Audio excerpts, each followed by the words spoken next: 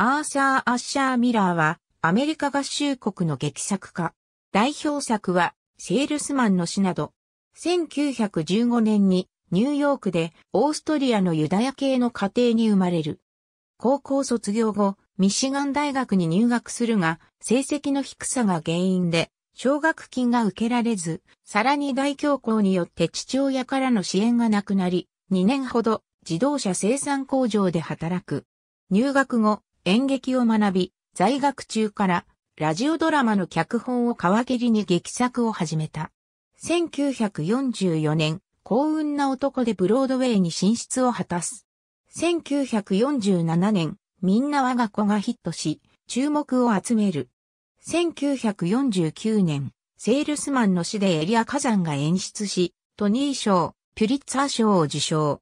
劇作家としての地位を確立し、テネシー・ウィリアムズと共にアメリカ現代演劇の機種に躍り出た。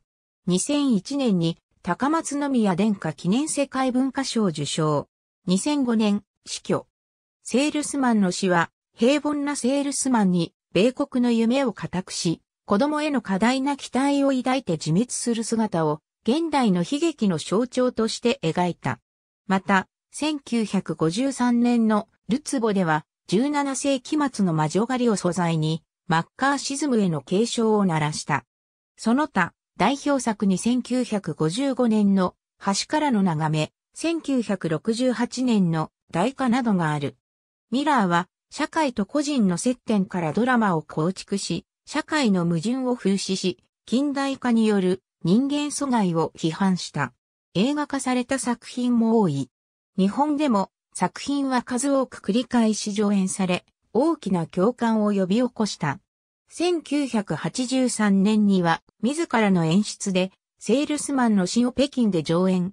ルツボは2001年の9.11同時多発テロ以降のアメリカ国内の動きを批判して再演され話題を呼ぶ。2004年にシカゴで上演したフィニッシング・ザ・ピクチャーが最後の作品となった。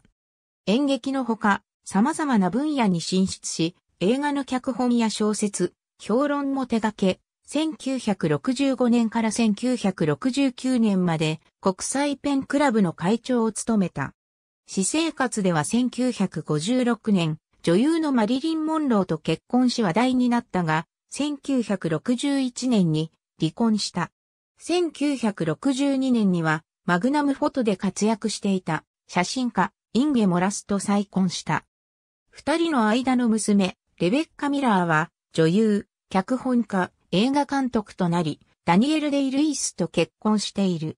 2005年2月10日、癌による心不全のため、コネチカット州の自宅で死去。89歳。戯曲ラジオドラマ映画脚本ノベライズノンフィクション。ありがとうございます。